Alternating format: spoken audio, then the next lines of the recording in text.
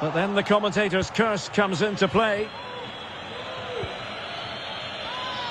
Well, United very much in control over the last 15 minutes, and they've played some good football. It's just now about taking one of those Oh, hang on, Stuart, look at this.